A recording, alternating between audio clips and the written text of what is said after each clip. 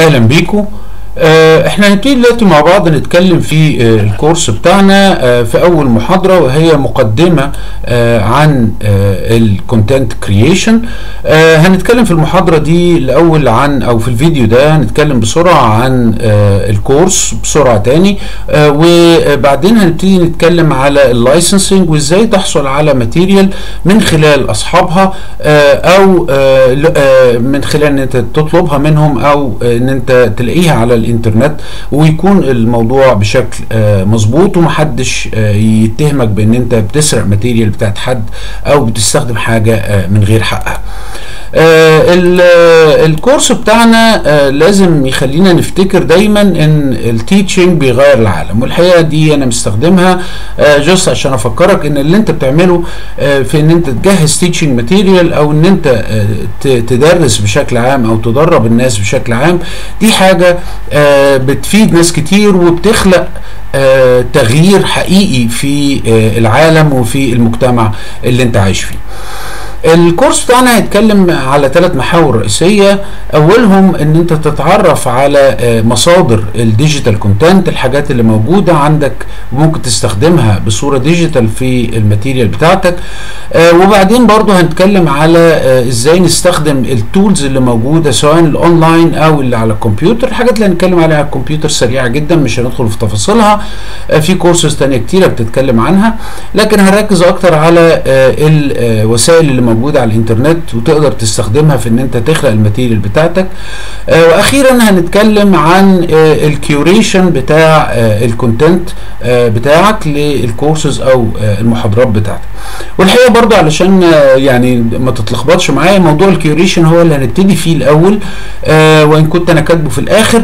لكن آه، يعني الكتابة للصورة العامة لكن التقديم علشان لما تعرف الأول ال curation تبتدي وإحنا شغالين في المحاضرة أو في الكورس آه، تتعرف على آه، الإمكانيات دي وتستخدمها واحدة مع واحدة آه، من خلال عملية ال curation اللي هنتكلم عنها بعدين.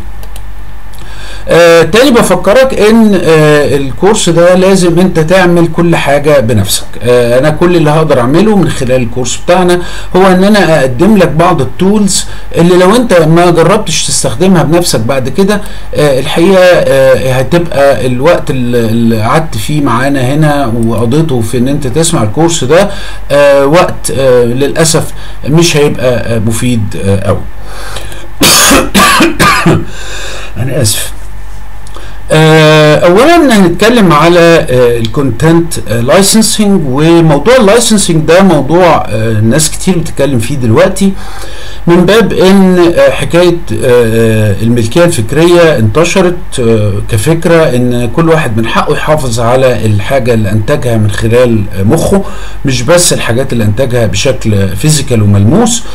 آه، وإحنا مش عايزين نخالف القوانين ولا نخالف الأعراف العامة اللي موجودة في المجتمع سواء المجتمع المحلي أو آه، مجتمع الإنترنت اللي إحنا عايزين ندخل فيه من خلال آه، ال online content creation فأول حاجة هنتعرف عليها إنك لما تلاقي material copyrighted في material كتيرة بتقابلها في حياتك مكتوب عليها copyrighted material أو يقول لك all rights reserved وفي الحالتين ده معناه إن أنت مش من حقك تستخدم ال material دي إلا بإذن صاحبها.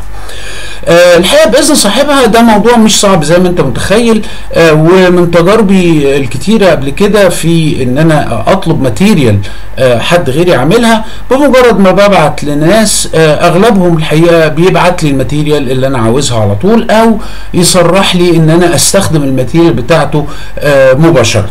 في حالة ما بعتها لك وقال لك استخدمها أو آه، هي موجودة على الإنترنت وهو صرح لك إنك تستخدمها كده أنت معاك ما يثبت إن أنت مش بتسرق ال material دي ولا ان انت بتستخدمها بغير حق. استخدمها على طول آه، وده بنعمله آه، كتير في آه، شغلنا.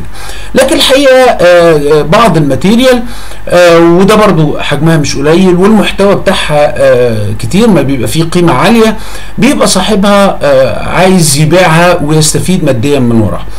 الكورس بتاعنا ده مثلا الكورس ده انت ممكن تكون دافع فيه فلوس وعايز تستفيد من الكورس فأنا بستفيد من وراك أو ال Academy of Knowledge بتستفيد من إن الكورس ده مدفوع فيه فلوس. عشان كده بنقدر نقدم كورسز تاني. لكن مع ذلك ال material دي بعض الناس بتحب بتبقى عرضها للبيع. يبقى فيديو زي ده أو slides أو كتاب أو paper أو أو أو أنت عايز تستخدمها. وأنا ما عنديش مانع إنك تستخدمها من خلال إن أنت تدفع ثمن استخدامها.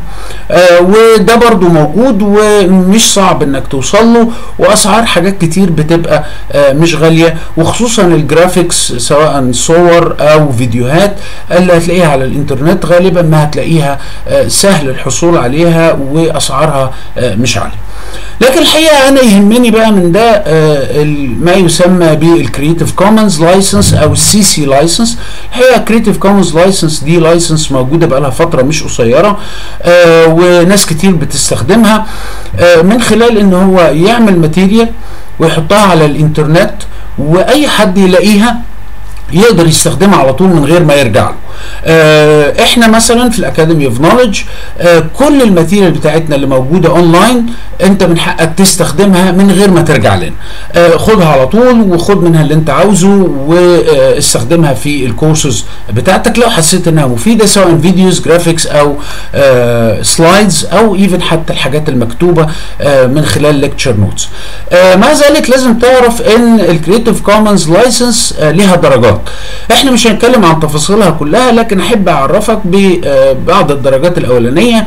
أول درجة في ال Creative Commons license هو إن هو مفتوحة خد اللي أنت عاوزه واعمل بيها اللي أنت عاوزه من غير أي restrictions نادرا ما بنلاقي حاجات كده. أغلب ال Creative Commons license بيبقى موجود عليها CC BY CC BY دي معناها إيه؟ معناها إن أنت من حقك تستخدم ال material بس آه قول أنت خدتها من عند مين. لو قلت أنت خدتها من عند مين تبقى أنت كده حققت المطلوب بتاعك. وغالبا حتى لو مش مكتوب عليها آه آه إنك تكتب اسم صاحبها آه إحنا بنعمل كده من باب الأمانة العلمية إنك لما تبقى واخد material من عند حد سواء صورة أو presentation أو فيديو بتقول والله أنا واخده من من فلان فلاني وأدي ال contact بتاعه أو ال website اللي أنت واخد منه أو الشركة اللي أنت واخد منها الحاجة وحطها ان Creative Commons والحقيقة لو دورت على الحاجات ال Creative Commons هتلاقيها كتيرة جدا وممكن تعمل بيها تقريبا أي كورس أو أي lecture أنت عايز تستعملها آآ آآ sorry عايز تعملها بس باستخدام ال material دي. آه في بقى restrictions تانية ممكن تتحط على ال Creative Commons license أنا مش هدخل في تفاصيلها هنا.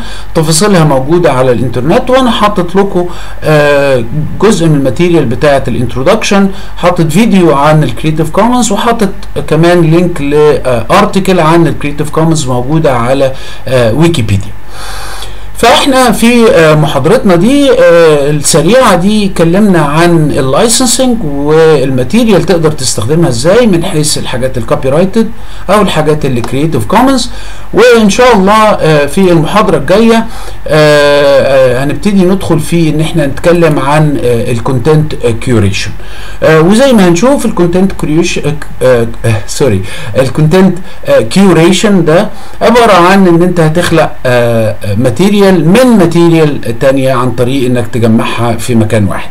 آه ودي البداية بتاعتنا. آه فأرجو إن أنتوا تتابعوا معانا الكورس وتبقوا إن شاء الله تستخدموا كل آه الإمكانيات اللي هنقول عليها علشان زي ما قلنا في الأول هي دي الطريقة اللي هتتدرب بيها واللي هت فعلا هتتعلم منها. فنشوفكم في المحاضرة الجاية إن شاء الله.